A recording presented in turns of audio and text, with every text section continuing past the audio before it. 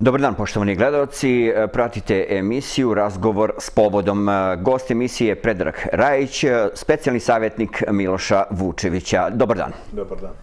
Evo za početak prvo pitanje koje se odnosi na izbore. Zbog čega su važni izbori koji će biti održani 17. decembra? Mislim da su ovo možda i sudbonosni izbori, možda i najvažniji od 2012. godine na ovamo, zato što na njima Srbija bira u kom će pravcu ići u naredne četiri godine.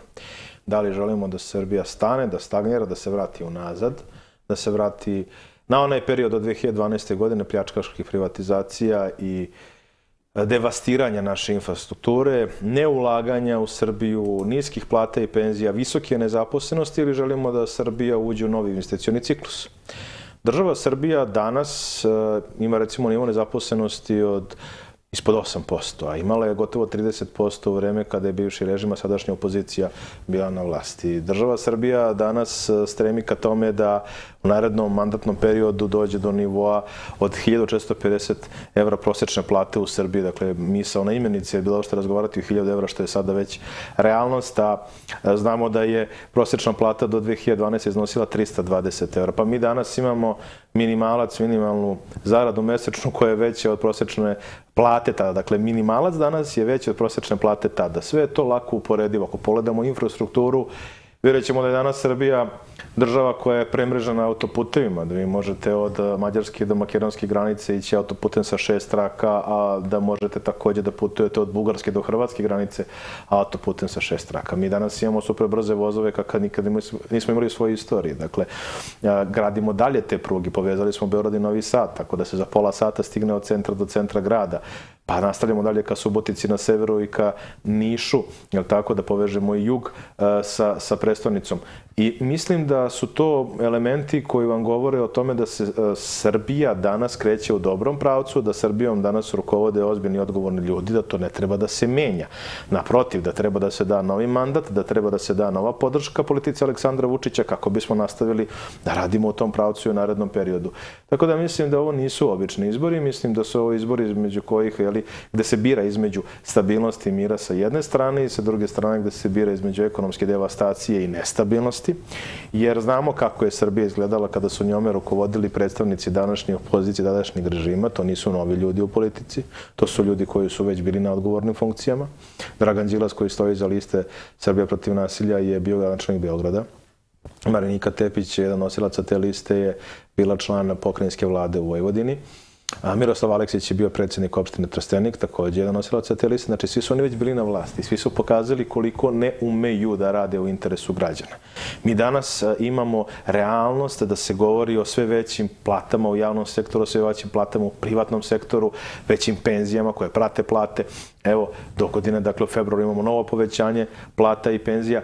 Ništa toga ne bi bilo moguće da nema stabilnosti i da nema vizije koju je izneo predsednik Aleksandar Vučić, za koju je dobijao podršku svih ovih godina, za koju nadam se da će dobiti podršku i sada, zato što je stao na čelo liste jeli, koji predvodi koja na glasačkom listiću se nalazi pod rednim brojem jedan na svim nivoima. I mislim da je važno da građani izađu na ove izbore masovno. Ja navijam da što je moguće veća izlaznost, jer je to dobro za demokratiju. A s druge strane, mislim da budem, mislim da je to dobro i za Srpsku naprednu stranku.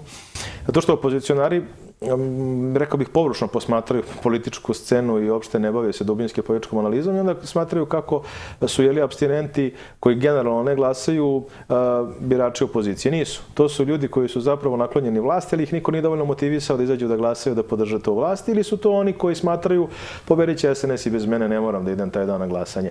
Važno je izaći na izbore. Dakle, u Kragujevcu, u okolnim mestima, ja verujem da nemate mnogo problema da dođete do biračkog mesta. Dakle, u Kragujevcu sigurno od biračkog mesta do mesta stanovanja imate maksimum 15 minuta peške, pa nije to neki napor, dakle, tog dana podneti da bi Srbija nastavila da kurača tamo gde treba. Naši su preci ginuli, pogotovo su u ovim krajima Srbije u Šumadiji ginuli za to da mi danas imamo pravo da izrazimo svoju volju slobodno tako što ćemo da ubacimo listić u glasačku kutiju, to nije toliko teško. Dakle, zato mislim da je važno razgovarati sa ljudima, važno animirati ih, zato evo i ja između ostalog putujem po Srbiji i zato mislim mislim da je neophodno da je ovom finišu kampanje svi damo dodatan napor kako bi građani shvatili kolika je važnost ovih izbora, da to nisu obični izbori, da izađu da podrže politiku Aleksandra Vučića i da se ne igraju, dakle, u tom kontekstu, ne sudbinom Srbije, nego da se ne igraju ni svojom sobstvenom voljom, zato što misle da će možda glasom za neku tobožnju desnu opciju da učine parlament čarolikim, pa će onda da pomere i SNS i njegovu politiku desno, ako im je to politički cilj. To se neće desiti. Jer te stranke desnice, i to mislim i na Zavetnike, i na Dveri, i na DSS, i na POKS, i na Radulovića, i na Jeremića, svi oni bi, ali svi oni bi istog dana kada bi mogli napravili koaliciju sa Draganom Đilasom kada bi vidjeli da imaju većinu Narodnoj skupštini. Ako bi, ne daj Bože, vidjeli, dakle, 17. decembra da imaju 126 poslanika zajedno sa Đilasom, isto veče bi se dogovorili oko pravljenja vlade i izglasali bi Đilasa za premijera. Dakle, glas za njih je glas za Đilasa na mesto premijera. To treba građani da znaju. I ne treba da dozvole sebi da budu izmanipulisani. Ako neko to želi, ako neko njega hoće na mesto premijera, znate šta, onda ima direktnu opciju da glasa za njegovu listu. Ali nemojte da dozvole sebi građani koji sigurno ne žele Đilasa na mesto premijera, da glasaju za desne opcije, pa te desne opcije posle isporuče tu uh, podršku jeli, e, koju su uspeli manipulacijom zapravo sebi da negde privole te ljude i da pripišu sebi te glasove, da onda to isporuču na kraju Draganu Đilasu. Mislim da je to jako bitno. Prošle godine smo imali tu disproporciju u podršci predsedniku Vučiću na predsjedničkim izborima i Srpskoj naprednoj stranci na parlamentarnim izborima. Jeste predsednik Vučić naravno ovo popularniji od Srpske napredne stranke, ali je to ipak bila prevelika razlika. 59% na predsjedničkim, 43% na parlamentarnim. Zašto je to tako? A nisu to samo glasovi koalicije i oni koji su podržali predsednika Aleksandra Vučića imali svoje liste, to su glasovi i onih koji su, eto, želeli da nagrade za zapaljivu retoriku ili ne znam kakve se poteze u kampanji te takozvane desne opcije ti birači, ja na njih apelujem, treba da se vrate kući, treba da glasaju na ovim izborima za listu koju predvodi Aleksandar Vučić, jer samo glas za listu koju predvodi Aleksandar Vučić jeste glas za njegovu politiku. Sve drugo je ili hazarderstvo, potpuno bespotrebno, ili je glasanje indirektno za Dragana Đilasa. U ostalom to on kaže Miloš Jovanović, on se već obavezao svojim potpisom da će da pravi većinu sa Đilasom gde god to bude mogao. I to vam je neki povratak u periodu od 2012. godine, kada je DOS vladao Srbijom ko sve različite jeli, vidove, kada su nekada jedinstvena demokratska stranka i demokratska stranka Srbije u suštini u tih 12 godina na različite načine rukovodile Srbijom. Videli smo kako je to izgledalo.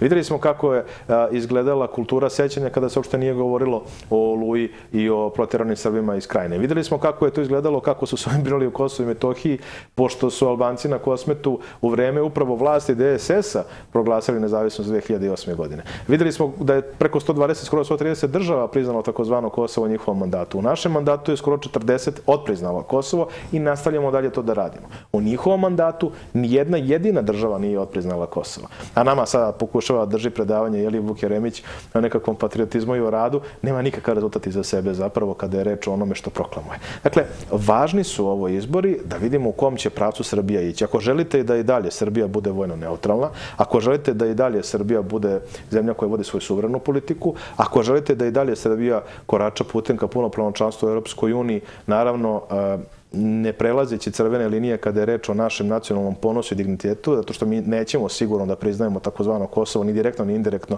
da bismo bili članica ni jednog saveza, pa tako ni Europske unije, ali ako naši partneri u Briselu to žele da prihvate, onda možemo naravno da radimo na reformama koje su za naše građane bitne da bismo bili deo te pre svega ekonomske onda i političke zajednice. Ako želite da država Srbija bude suverena i da održava prijateljstva sa svim svojim partnerima u svetu, sa Kinom s kojim sad imamo jeli, veliku trgovinsku razmenu i predsjednik Vučić je uspio da se izbori za to da možemo da izvozimo našu robu na kinesko tržište, najveće svetsko tržište bez carina.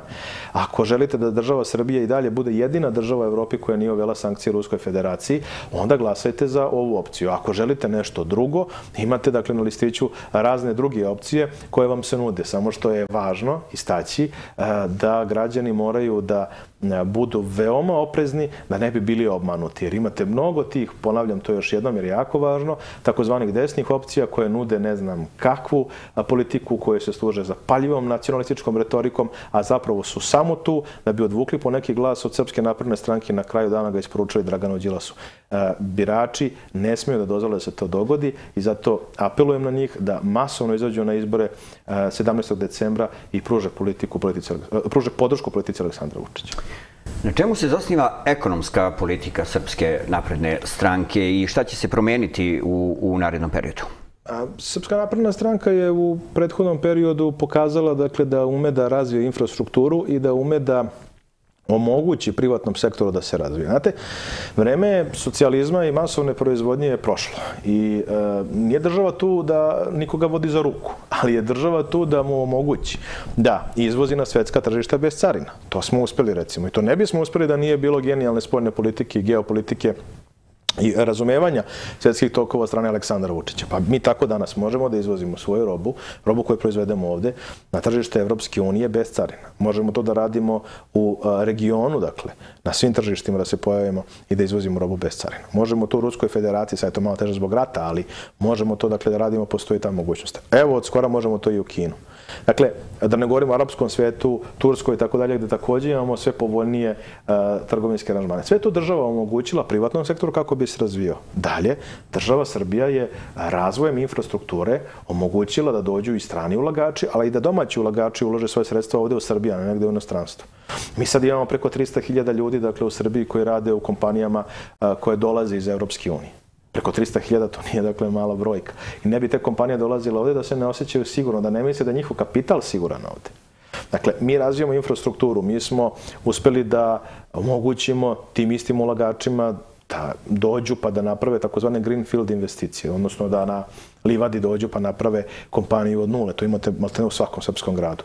E, brownfield investicije. Dakle, ulaganje u neke fabrike možda koje su posle ranije bila giganti u neka stara vremena, pa sad dobio svoju prenamenu, novu tehnologiju, nova tržišta, novi brend, zato što dobio ili partnera, nekoga koji kupi pa onda radi tu, zapošljava građane zapostavlja radnike, zapošljava radnike. Znači, kada zaposlite radnike u jednoj velikoj kompaniji, u jednoj velikoj fabrici, vi otvarate mogućnost zapravo da se uz tu fabriku razvijaju i manje firme, dakle, takozvana mikropreduzeća. Zato što taj radnik koji ide dakle, na posao u fabriku, on mora da nešto i pojede ujutru, pa će tu biti posao za pekare, pa mora da se uh, doveze dakle, do posla, mora da vozi automobil, pa će biti posao za vulkanizera i tako dalje. Dakle, vi razvijate zapravo sijaset mikrofirmi u, u okviru tog jednog sistema jeli, i uz to veliko preduzeće. I mi smo razvijanjem infrastrukture, izgradnjom puteva, mostova, pruga zapravo omogućili da dođu investitori. Jer svaki investitor koji dođe u državu, koji dođe u neki grad, u neko mesto, prvo vas pita koliko je ovo daleko od neke uh, saobraćajnice koja je kvalitetna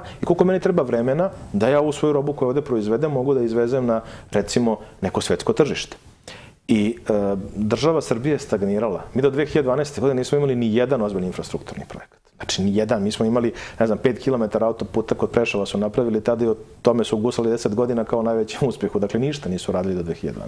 Mi sad imamo, mi ne možemo da, evo ja sad kad bih krenuo ne mogu da pobrojim i sigurno bih zaboravio neki veliki infrastrukturni projekat od severa do juga, kako obilazim Srbiju, vidim da se to radi. Dakle, neophodno je ulagati dalje i otvarati mogućnost za nove investicione cikluse. Mi u narednom periodu očekujemo nove investicioni ciklus zbog EXPA, to će biti značajno za celu Srbiju. I to je bitno samo za Beograd i Novi Sad, tako da to je bitno za celu Srbiju. To će da nas otvori ka svetu dodatno, da, da ostvarimo mogućnost da se ovde ulaže još više sredstava, dakle, u proizvodnju. Dalje, ulagat ćemo u informacijono-komunikacijone tehnologije. To je za gradove poput Kragujevca jako važno. Jer to otvara mogućnost ljudima dakle, da ostanu tu u Kragujevcu ili okolnim mestima, da na primjer rade od kuće ili rade u nekim firmama ili IT sektora koje će to da se otvore, tu nisu male plate, nisu mala primanja, a ostajete tu dakle, gde ste i odrasli, gde ste navikli da živite. I sad pazite tu prednost.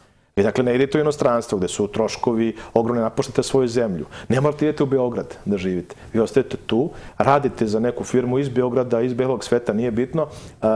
služite se dakle informacijonim tehnologijama, pokazujete, a mi imamo talentovan narod. Dakle, pokazujete šta sve možete i sredstva koje ste zaradili zapravo trošite tu gde i živite. Dakle, e, to je ono što je naš cilj, da ljudi ostane ovde, da sve to, svoje e, profite, viškove koje imaju ulažu u Srbiju u krajnjoj liniji, kao i svi građani, dakle, ulažu u potrošnju. Da bismo imali jako ekonomiju, da bismo imali jaču kupovnu moć. I e, na tome ćemo raditi sigurno u narodnom periodu, nećemo stati sa infrastrukturnim projektima nikako. Evo, otvaramo dakle novu deonicu Moravskog koridora, Izaći će sada Kruševac na autoput, sledeća faza izađe i Kraljevo. Neće biti više ni jednog grada dakle, koji nije na autoputu ili koji nije makar 15-20 minuta od autoputa. I e, to vam otvara mogućnost zapravo da ljudi ostanu, da žive u svojim sredinama, pa čak ako hoće da se usavršavaju u nekoj drugoj sredini ili da možda rade, da ta jeli, e, fluktuacija bude malo izraženija, nije sporno, ali da mogu da žive u svojoj sredini, da za jedan sat ili manje od toga stignu do, tog, do te druge lokacije gde dakle, moraju da obave nešto i vrate se isti dan kući. I to će otvoriti, ja mislim, mogućnost da jeli, u sredinama koje su možda ruralne, širom Srbije, imate više opet e, stanovnika koji su tu ostali ili koji se čak na njih, u njih vraćaju ili pak tamo odlaze iz urbanih celina kako bi tamo možda e, živeli, a radili u nekom centru. Dakle, Srbija će biti premrežena infrastrukturnim projektima, premrežena prugama i autoputevima i bit će otvorena mogućnost svim građanima da se slobodno kreću, da mogu da se više kreću, dakle da mogu više međusobno da se upoznaju, ali i da više rade. To će da pokrene nove investicione cikluse, to će da više pomogne privredi, a predoslav za sve to je mir da očuvamo mir, da očuvamo stabilnost u našoj državi, da ne dozvolimo sebi da budemo vučeni u bilo kakve sukobe, već da i dalje ono kako to Aleksandar Vučić radi, mudro. Dakle, vodimo politiku, sarađujemo sa svima koji želi da sarađuju sa nama u svetu, u regionu takođe, pregovaramo o svim otvorenim pitanjima, jačamo svoje odbrambene kapacitete, jačamo svoju vojsku, jačamo svoju namensku industriju. Kragujevac je tu odličan primer. Zastava je, dakle, naš gigant. Mi razvijamo našu namensku industriju gde god možemo. U Kragujevcu se to vidi jako dobro, može da se vidi u Velikoj plani, može da se vidi u Lučanima, može da se vidi u Valjevu. Dakle, širom Srbije, zato što znamo i svesni smo šta nam je sve neophodno da bismo mogli da ojačamo svoje odbramene kapacitete, svoju vojsku, S druge strane, da budemo konkurentni na svetskim tržištima kada je o namenskoj industriji reči. To jesmo, to vam pokazuju brojni sajmovi, dakle, upravo na oružanja, nedavno održan jedan veliki u Beogradu, ali i širom sveta gde se pojavljuju upravo srpski proizvođači i šalju jednu poruku u tom kontekstu i u tom smislu šta se mogu da ponude jeli šta se mogu da ponude onima koji su zainteresovani za našu robu, jer smo postigli jedan paritet kvaliteta proizvodnje, a opet s druge strane i cene. Dakle, cena je to vrlo konkurentna na tom tržištu koje je inače surovo i gde se morate nametnuti, gde imate gigante koji su već jako dugo prisutni i koji ne prepušte tako lako dakle, prostor na tom tržištu, ali smo mi postigli mnogo i ja sam siguran da Kragujevčani to mnogo bolje znaju od mene, jeli mnogi rade upravo tim kompanijama koje su iz ovog sektora. Tako da, važna nam je stabilnost, važan nam je mir. Bez mira i bez stabilnosti mi ne možemo imati uopšte prostora da razvijamo svoju infrastrukturu, da i dalje podižemo plate i penzije i da ulažemo u našu državu, jer drugu državu nemamo, mi nju volimo najviše na svetu i zato moramo da čuvamo. Koji su prioriteti za unapređenje položaja mladih u Srbiji? Mladi moraju da imaju priliku da se dokažu. Dakle, da mogu da se zaposle. Mi sad imamo visok stepen zaposlenosti mladih. Mi dugo nismo imali tako visok stepen zaposlenosti mladih. Mladi moraju da imaju mogućnost da zasnuju porodicu. Evo, mi danas imamo ozbiljnu pronatalitetnu politiku. Nikada niste imali u srpskoj istoriji, dakle, situaciju da se toliko sredstava daje za prvo dete. Nisu dobro uopšte ništa, dakle, sad se daje za prvo dete. Mi smo imali demografsku politiku koja je bila potpuno vanvremenska, ona je zaostala, možda imala smisla pre 40 godina, više ne. Tada se govorilo samo o trećem detetu, sada se govori o prvom, dakle, treba da se uopšte uđe u taj proces. Pa dajemo mogućnosti, dakle, mladim bračnim parovima da lakše kupe stanove, da lakše kupe automobila, da dobiju jednokratnu pomoć, a nakon toga i kontinuiranu pomoć za prvo dete. Takođe za drugo dete, pa za treće, pa za četvrto. Dajemo po 25.000 evra, dakle, e, po detetu. To nije malo. To nije malo, to daje, dakle, država Srbija pomaže upravo takvu politiku pronatalitetnu. Ulažemo u obrazovanje, ulažemo u uh, viši stepen mogućnosti da se ljudi dokažu, Dakle, da se ljudi pokažu da uh, mi imamo talentovane ljude. Samo treba to da se negde na adekvatan način iskaže. Ulažemo u sport. Ja vidim koliko a, e, opozicija napada te projekte. To su divni projekti. Dakle, mi obnavljamo naše hale, naše dvorane, a, e, gradimo nove stadione. Naravno ćemo da gradimo nove stadione. Zato što želimo da na taj način zapravo a, odvučemo sve mlade od problematičnih, tako da kažem, aktivnosti koje su poručnog karaktera. Zato što hoćemo da im otvorimo mogućnost da se bave sportom, da upoznaju zdrav život, a ne da odlaze u nekim pravcima koji nisu dobri i koji razaraju i pojedinca i porodicu na posledku. Mladi danas imaju perspektivu u Srbiji. Mladi mogu da ostanu u svojoj zemlji. Treba vidjeti kako se živi u svijetu. Što da ne, dakle, otići, proputovati, videti, To je uvek dobro, to je uvek korisno, ali se vratiti kući, ali živeti ovde.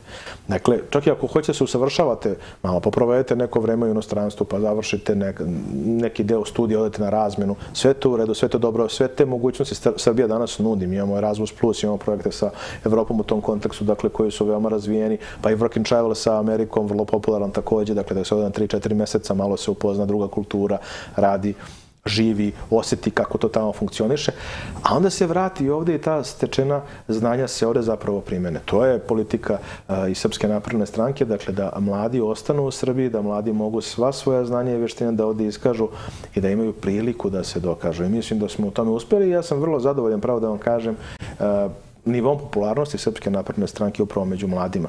Jer nakon uh, penzionera ili lica koje su starije od 60 godina, gde imamo ubedljivo najveću podršku zbog toga što ti ljudi umeju da prepoznaju i da vide i da uporede kako je Srbija izgledala do 2012. a znaju kako je izgledala 90-ih, a znaju kako je izgledala 80-ih, pa i u vreme Tita i tako dalje. Dakle, pamte dugo i mogu da uporede da vide koliko se predsednik Aleksandar Vučić bori za ovu zemlju i zato tako masovno glasaju za Srpsku naprednu stranku i za listu koju on predvodi.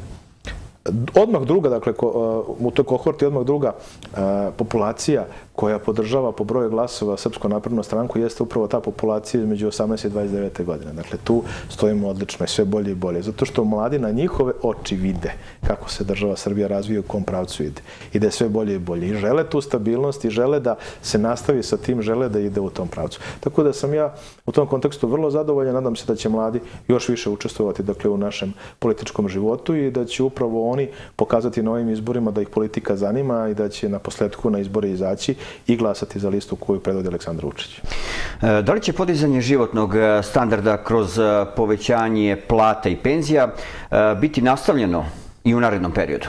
Ono mora biti nastavljeno zato što smo svesni svih izazova s kojima se suočavamo. Ima mnogo problema. Mora još mnogo da se radi. Ova država je bila, nažalost, u velikoj meri, ako ne u celosti, zapuštena. Pa mi smo imali vlast koja do 2012. godine uzimala skupe kredite u inostranstvu da bi isplaćivala uopšte plate i penzije. Ne da bi ih pofećavala, nego da bi isplaćivala. Pazite. Dakle, plate u javnom sektoru i penzije, oni nisu mogli da plaćaju iz budžeta, nego su se zaduživali sa strane.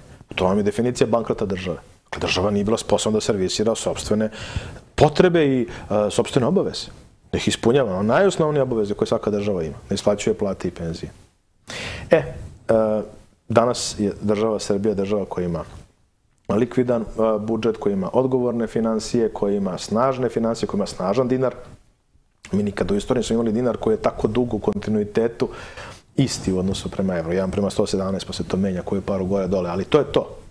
I dakle mi danas imamo priliku zapravo da planiramo i srednjeročno i dugoročno. Mi to nismo imali godinama, decenijama unazad. Dakle, i napokon izlazimo iz te krize. Zato mora da se povećava kupovna moć građana i znam i svestan sam toga i ne bežim ni u jedne teme, znam da a, će se građani uvek žaliti, s pravom žaliti na, na posljedice inflacije, na rast cena hrane, ali znate šta, Srbija nije izolovano ostravo u svetu. Mi imamo jednu Rumuniju daleko od nas, rat koji je odnao već sada možda i pola miliona života rusko-ukrajinski rat.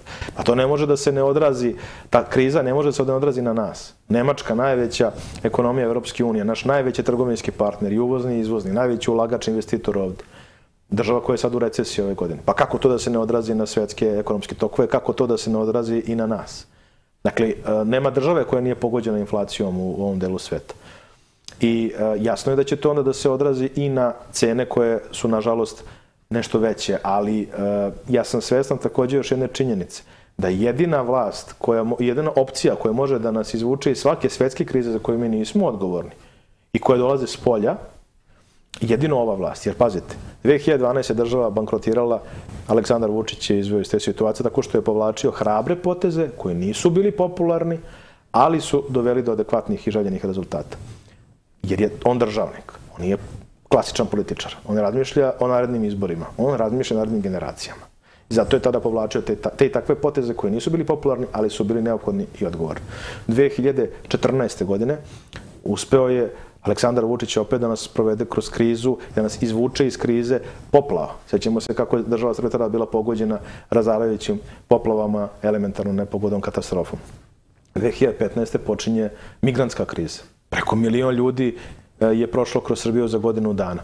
Uspeli smo da se izvučemo iz toga. 2019. godine, na 20. kreće svetska korona, pandemija, tako, i, i nova kriza pandemija koronavirusa i sve što je to u sebe nosilo. Pa smo uspeli i to da prevazićemo. Pa smo pokazali koliko je vitalan naš zdravstveni sistem. Pa smo bili lideri uh, u broju respiratora i vakcina i poklanjali čak svojim susedima zato što oni nisu imali, uh, nažalost, u tom momentu čime da leče svoje građane.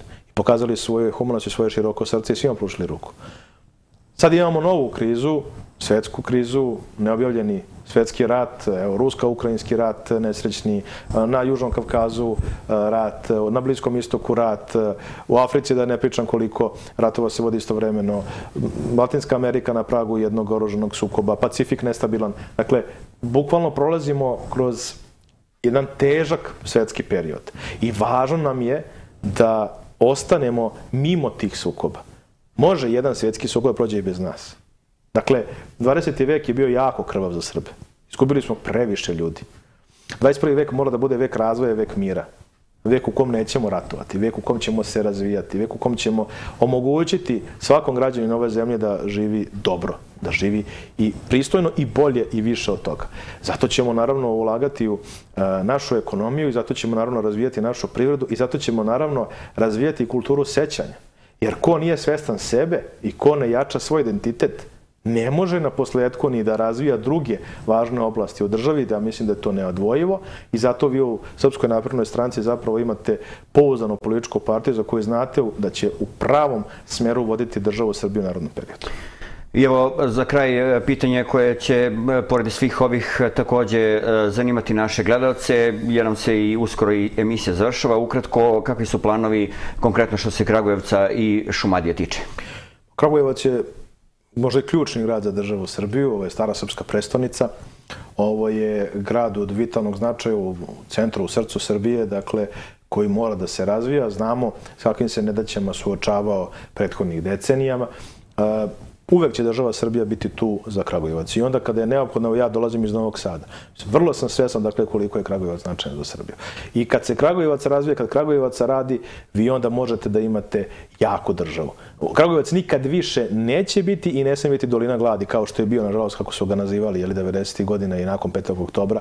Ne sme nikada više prolaziti kroz takve turobne momente svetska ekonomija kakva jeste. Dakle, i mi znamo kako se to kreće, mi znamo koliko tu problema može da bude. Ali za Kragujevac uvek mora da se nađe prostora, uvek mora da se, ako treba, ulaže i kroz subvencije, da se pomogne i domaćim ulagačima i stranim ulagačima, da mu se razvija infrastruktura i vidim da se to radi.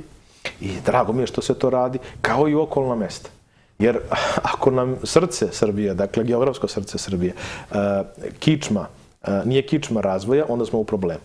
I zato mislim da je ta sinhronizacija koja se postiže ravnomernog razvoja čitave Srbije, ja znam šta pričam jer sam obišao celu Srbiju u ovoj kampanji, video sam da se zaista ravnomerno razvija. Ako postignemo taj nivo kao što ga postižemo, i treba naravno raditi i dalje u tom pravcu, to je dug proces, jer ima krajeva Srbije gde se ništa nije ulagalo decenijama, sada se radi mnogo. Ako to postignemo, onda zaista možemo da sa velikim optimizmom uđemo i u narednu deceniju i možemo da konstatujemo da imamo dobru priliku da 21. vek zaista bude razvojni vek za državu Srbiju. Ja ne sumnjam da građani Kragujevca to vide, ja ne sumnjam da građani Kragujevca podržavaju takvu politiku i ja ne sumnjam da će građani Kragujevca i svih okolnih mjesta i čitave Šumadije izaći na ove izbore 17. decembra i masovno podržati politiku Aleksandra Vučića na svim nivoima. Gospodine Rajiću, hvala vam na razgovoru i na gostovanju u našoj emisiji. Hvala vam na pozivu. Poštovani gledalci, vama hvala što ste bili uz nas. Gledali ste još jednu emisiju, razgovor s povodom. Ostanite dalje uz program televizije Kragujevac. Doviđenja.